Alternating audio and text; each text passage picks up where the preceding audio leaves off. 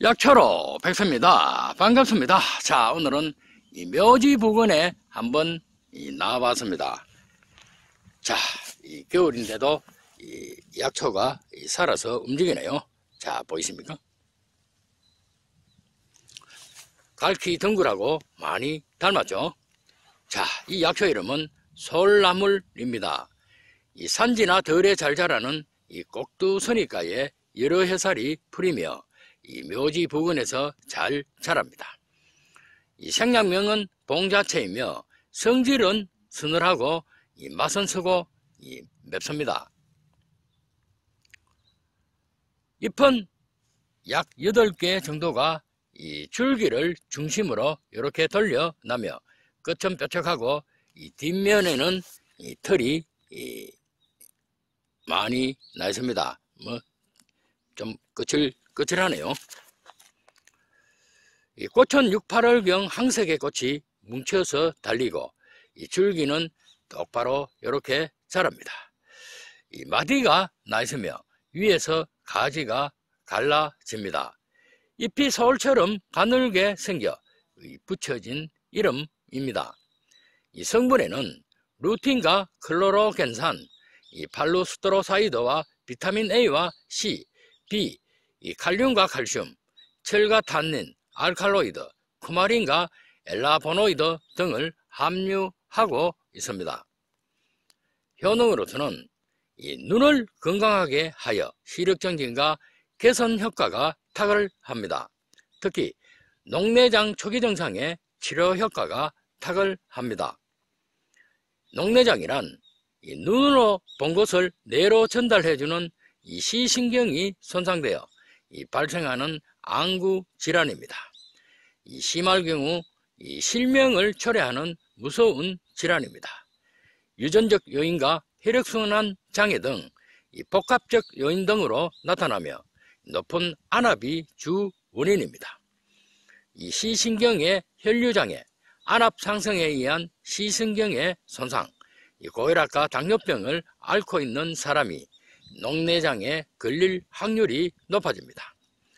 이 초기와 중기에는 별다른 증상이 없습니다. 말기에 이르면 시야가 좁아지고 답답한 증상이 나타납니다. 이 치료 시기를 놓치면 신명을 하게 되는 무서운 질환입니다. 이 솔나물은 안압 상승을 막아주어 녹내장을 예방하고 치료해주는 효과가 큰 약초입니다. 이 지방살과 군살을 제거하여 이 다이어트에 좋습니다. 이 체지방을 태워주어 이 뱃살과 복부 비만의 발생의 원인인 내장지방을 연소시키는 효과가 빠릅니다. 이 신체에 저장된 지방을 강제로 연소시켜 이 지방 감소에 큰 도움을 줍니다. 혈관 내의 포도당 양을 감소시켜 신체 내부에서는 실제로 여유가 있음에도 불구하고 에너지가 부족하다는 신호를 보냅니다. 이 비상에너지 원인 체지방을 강제로 꺼내 사용하게 함으로써 다이어트의 효과를 극대화시켜 줍니다. 클로로겐산이 함유되어 내장지방을 분해하여 뱃살을 살찌게 하는 내장지방을 사라지게 만들어 줍니다. 한 달에 체중 감량을 18kg 해준 사실이 있으며 먹으면 곧바로 장에서 연동운동이 빨라 대변으로 체지방이 빠져나가 다이어트에 좋은 약초 중에 하나입니다. 이 살찌게 하는 지방세를 녹여주어 특히 내장 지방을 없애줌으로써 뱃살과 복부 비만 그리고 고도 비만 내장 지방을 없애주는 효과 큰 약초입니다. 이 폐렴 초기 증상을 예방하고 치료해 줍니다. 이 폐렴은 이 세균이나 곰팡이, 바이러스 등에 의해 나타나는 이 폐에 염증이 쌓여 나타나는 증상입니다. 심한 기침과 가래, 호흡곤란 증세가 나타나고 이 구토와 구역질, 설사와 두통, 피로감, 관절통, 근육통 등 다양한 증상이 나타납니다. 이 가래에 피가 섞여 나오거나 이 폐염증으로 인해 숨 쉴 때 통증도 이 느끼게 하며 이 고열 증상과 저체온 증상도 동반하게 됩니다.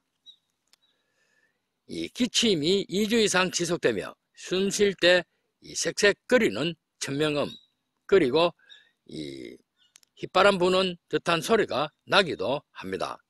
폐렴은 기침과 가래가 나오며 발열 증상이 급성으로 나타나는 것이 특징입니다. 이 감기와 비슷한 증상을 보이며 남녀노소 누구에게나 나타날 수가 있습니다.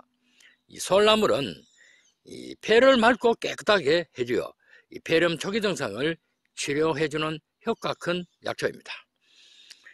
이유를 모르는 그리고 알 수 없는 가려움증을 치료해주는 효과가 탁월합니다. 이 가려움증의 원인은 과도한 스트레스와 당뇨병, 음식물의 섭취로 인한 가려움증, 이 꽃가루 알레르기 등으로 나타날 수가 있습니다. 50대 이후 50%, 50% 이상 이러한 증상들이 나타나고 이 피부가 건조해지는 원인인 이 피지 때문에도 나타날 수가 있습니다. 이 나이가 들면 피부 노화가 주 원인이며 이 기보다는 혈액 부족으로 많이 생깁니다. 그래서 이 피부를 긁거나 문지르고 싶은 충동을 일으키게 합니다.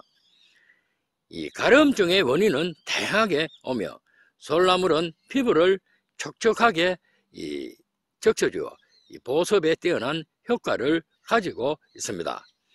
이 혈액순환을 원활하게 하여 이 가려움증을 해소해주는 좋은 약초입니다. 이 봄철의 어른수는 서기 때문에 데쳐서 찬물에 우려내어 나물로 해먹습니다.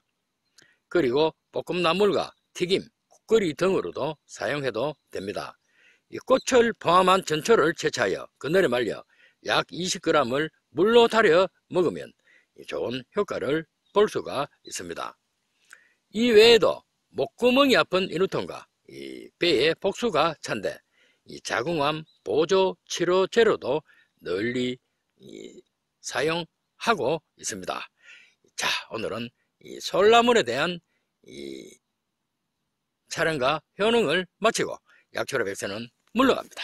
감사합니다.